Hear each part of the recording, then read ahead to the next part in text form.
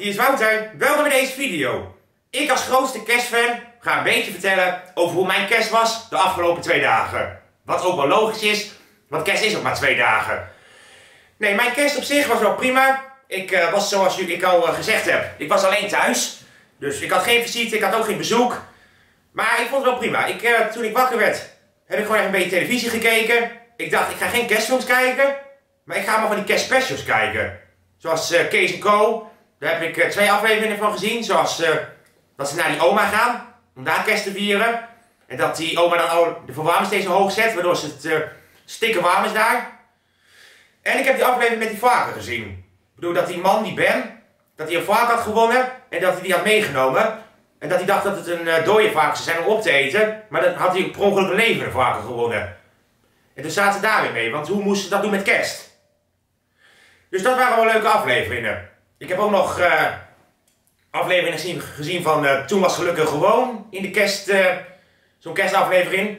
een aflevering, of nee, zelfs twee afleveringen van Zeg eens A. een aflevering van Oppas heb ik nog gezien met, wat met de kerst te maken heeft. Dus ik heb even van die kerstspecials gekeken. Wel leuk om te zien hoor, vooral met de kerst. voor de rest heb ik ook nog even gewandeld. Ik heb gewoon met eerste kerstdag heb ik even een rondje in het dorp gewandeld was vrij rustig, dus ik denk dat iedereen gewoon binnen zat om kerst te vieren. Ik dacht, uh, nou, het eerste kerstdag, misschien maken wel meer mensen een kerstwandeling. Maar ik was blijkbaar de enige die het idee had om een kerstwandeling te maken, want er waren heel weinig mensen. Dus ik was niet de enige, maar wel een van de enige. Nee, maar voor de rest uh, ja, was dat wel leuk. Uh, de volgende dag een beetje alles in dezelfde sfeer. Kerstdingen kijken en ja, s'avonds nog even een wandeling gemaakt.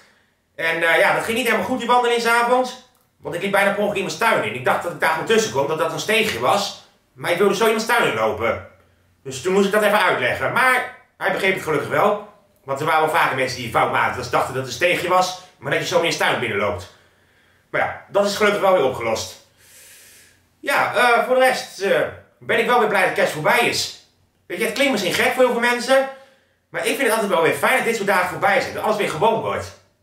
Weet je, kerst is misschien wel leuk. Maar als het weer voorbij is, is het ook wel weer fijn. Dan ga je weer gewoon het gewone leven in. Nog wel even twee weken vakantie voor de rest, maar het wordt wel weer gewoon. En dat is fijn. Alles weer gewoon. Ja. Nee, is er nog wat te melden? Nee, eigenlijk niet. Uh, hoe was jullie kerst? Laat me weten wat jullie met kerst gedaan hebben. En dan bedank ik je voor het kijken naar deze video. En tot de volgende keer. Doei! Ik ben Wouter. En voor de mensen die nog steeds kijken, morgen ga ik ook een video maken. Maar morgen gaat, het, gaat de video over voorspellen of wanneer je doodgaat. Dat is een heftig onderwerp, dus daarom bespreek ik hem ook, want dat past natuurlijk bij mij. Dingen zoals dood gaan bespreken, dat, dat past een beetje bij Wouter. Gek genoeg, maar het past er wel bij.